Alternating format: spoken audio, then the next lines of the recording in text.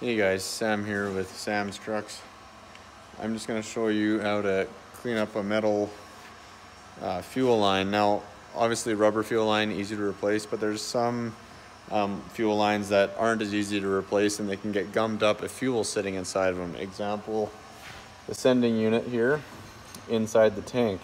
Now this vehicle, uh, Ford, old Ford or a Mercury Meteor sat for a long time and it all got gum, gummed up in here so much so that you can't even blow air through it.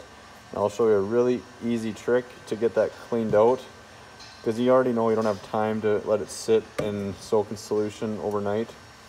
So all you're gonna do is get some safety wire. Now you can go really long with it. Like I'm like all the way like, I'm probably a foot and a half long here. And you just bend it over on itself so that there's enough for the drill to grab on and then you just uh, slowly work it in there. You have to kind of help it along by hand, and once it gets all cleared up in here, you can just slide it in and out. And then uh, it's pretty easy, but yeah, that's all you do. Very easy. And it'll clean out those lines. Like I said, you have to take your time or else you'll break off the wire inside there, but just go slow, it'll work. Clean out your fuel lines, and you're on your way. Thanks.